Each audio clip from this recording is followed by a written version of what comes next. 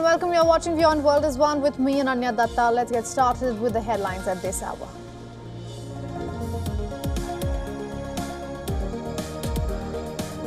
Indian Prime Minister Narendra Modi meets Indian diaspora in Ukraine's capital city of Kyiv, proceeds to pay tribute to Mahatma Gandhi before Mahatma Gandhi's statue before meeting President Volodymyr Zelensky.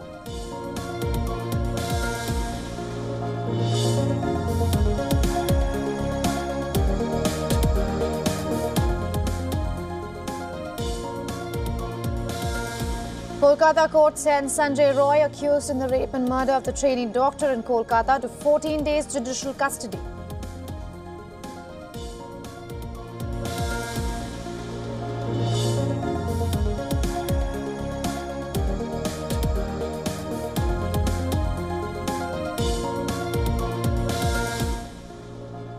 German NATO base remains at high alert after security level was raised overnight based on intelligence information indicating a potential threat.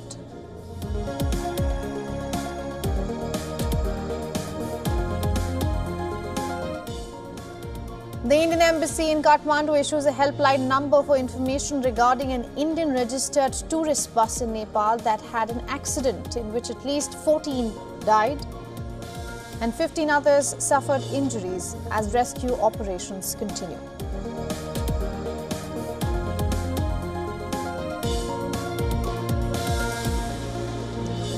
UK's energy price cap is set to rise 10% in October, expected to push up bills for millions of homes just as the winter heating season begins. For all the latest news, download the WION app and subscribe to our YouTube channel.